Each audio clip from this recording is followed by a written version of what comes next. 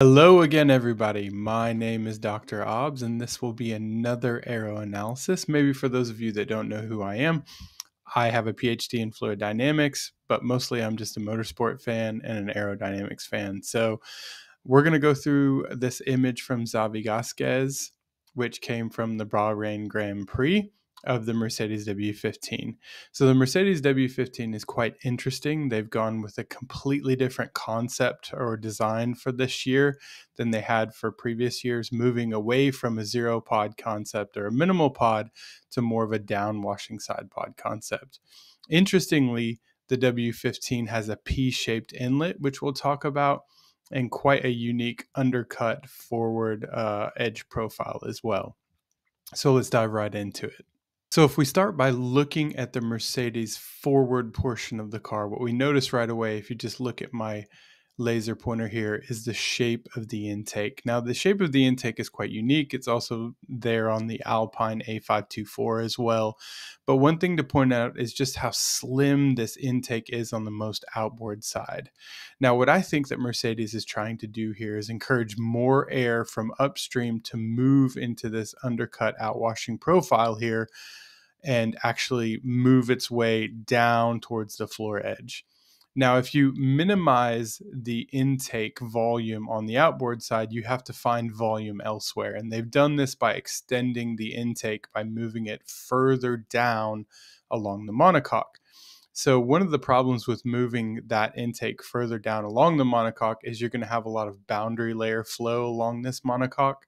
So boundary layer flow is just simply where the flow at the interface of the solid, so in this case, the monocoque along the wall, is slowed by the fact that there's friction and high shear along that surface. It just means that the energy along the surface is maybe not as energetic as it is further away from the surface. So, for that reason, you are using some of this boundary layer flow but they're extending this a bit further down here, as you can see, so they're able to maximize their volume. So one of the things you need to do is ensure that all of the air that's coming upstream from this over the front suspension elements is not disturbed, especially at the junctions. So this is where the uh, suspension elements interface with the uh, nose cone. So typically at those junctions, it can be quite lossy. You can have horseshoe vortices all different kinds of vortices that are generated from this junction. So you just need to have nice fairing profiles to ensure that, that flow is nice and clean. So I'm sure Mercedes has done that. Now, again, focusing on this forward undercut portion right here, which you can see is just how aggressively the undercut is leaning forward. So there's quite a lot of volume in this forward region right here, but you can actually trace out the profile as it moves outboard and see that they're also generating some outwash in this in this forward undercut. So again, I talked about it in the RB20 analysis video that I did, but the whole purpose of this is to generally create a, a, static pressure region. It's not actually static, you know, stagnation pressure, but it's it's higher static pressure region in this forward floor top deck. So this is called the top deck right here, which just helps you to put some pressure on top of this, and then you have low pressure in this outwashing tunnels, and you can generate some forward load. So this forward undercut is very important for that but it's also important for getting air to the rear of the car, to the rear um, downforce generating elements, as well as getting some air to this rear um, uh, floor edge, which you see here, which is a detached floor edge, which also helps you to bring in some air into the rear diffuser volume, which helps with diffuser efficiency.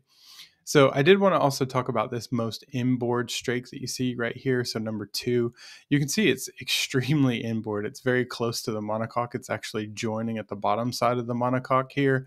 So this is just for me Mercedes' way of ensuring that the air that's coming in across this bib right here on the front is just very clean and protected. So there's no chance that any of the front tire wake in yaw or any of these weird sort of corner conditions is going to be disturbing the air that's coming into the forward floor because this is the only air that's actually feeding the whole tunnel system throughout the rest of the car. Now you can also see the rest of these uh, fences here. So there should be four fences here, but um, you know I think one of those fences is just in this image, hidden a little bit behind this sort of upward uh, extended uh, this would be the first fence. There would be a second fence just underneath the leading edge here, the third fence, and the fourth fourth fence here. So these outer fences are all outwashing fences, and they're going to outwash the flow to this floor edge here in the forward floor edge. And this is going to work in conjunction, as I said before, with the um, forward floor pressurization, where you're going to naturally encourage the air that is coming over this leading edge of the floor, and it's going to work its way down to the forward floor edge, at least the air that does not go into the undercut. And that's going to work in conjunction with this outwashing air to again generate a little bit of edge load here and help with extraction as well from these tunnels because it's there you can't really see it in this image very well. There's a little small kind of gurney like um, feature right here along the edge. And what this is actually doing is sort of working like a gurney on a front wing. It's going to help you again with more extraction like that like it does on a rear wing so looking here, you see uh, in kind of the mid-floor region, you can see that there's a nice big fat curl. Uh, most teams are running these curls. Um, this, in my opinion, is just providing a bit of pressure support for the undercut. So think of it as you have all this air that's moving under the undercut like this, right? It's just sort of chasing areas where it's got least resistance, where it can move. Naturally, air moves through paths of least resistance. So the edge of the floor itself is very attractive to, to this undercut flow because uh, you have a lot of uh, low pressure along this floor edge here. So how do you combat that? You create a region where you have higher pressure, higher static pressure. And you do this by creating a curl like this. So any flow that is wanting to try to get to the edge and maybe leak out is just simply um, you know there's a there's a physical barrier here but but what that's doing is it's generating some cp or so coefficient of pressure here some generalized local pressurization which is also going to provide pressure support. That's what we mean by pressure support. So you have higher pressure here along this curl. That's just going to kind of discourage the air from coming down and sort of encourage the air to keep moving back. The other thing it's going to do is it's also going to generate a little bit of load because again pressure is load and downforce. So you've got some higher pressure here. Now, most other team, uh, most teams are also running this little slot flow right here on the forward part of this curl. So the air that's coming over this top deck is going to be naturally entrained through this slot, and it, as it runs through this slot, it's going to hit these vortex generators, which are going to generate a lot of pressure on the top or on the forward front uh, face here, and then you're going to have lower pressure on the back face, which is going to encourage the air to now roll over that sort of delta wing shape that you have. It's it's very well known these vortex generators and the physical phenomena behind them. But you're generating small vortices, and these small vortices are going to rotate. And if you're looking from forward to back in this in the clockwise uh, rotation, so it's going to go like this all the way down the floor edge. Now, what I don't know is if these vortices are going to be ingested into the floor along this edge and if it's going to create a little bit of edge load because the core of a vortex is low pressure or if these are simply just riding along the edge here and just trying to uh, discourage again any trash air you know front tire wake mess uh, from coming into the mid floor so if we look at the unique unique shape of the side pod as well here, you can see that it is quite large in the mid span. So it's in the Z direction, straight up and down this way, uh, about mid span, you can see that the um, uh, side pod itself is quite large and bulbous, and that's just to create a little bit of volume there, so that any front tire wake that's coming through here, which you know you've got this forward fence which is protecting the floor from that front tire wake, but that's the low wake. So that's kind of the tire squirt region.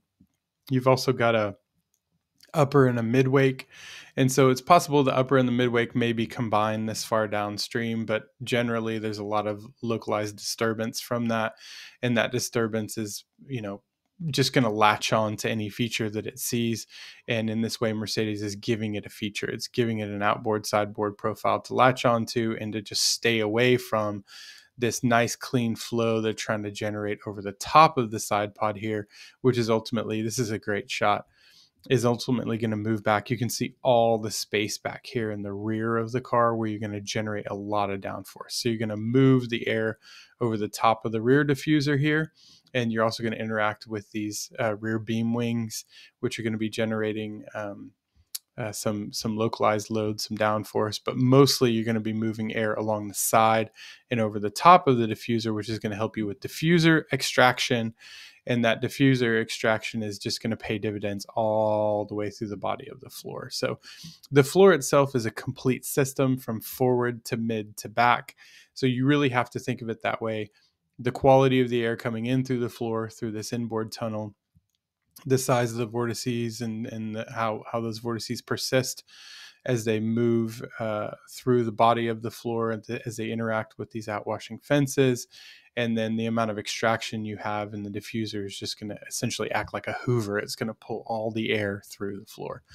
So that's my analysis of the Mercedes W15. I just want to give a shout out to Xavi Gasquez, who sends us a lot of great photos, and this is just another great example of a great one.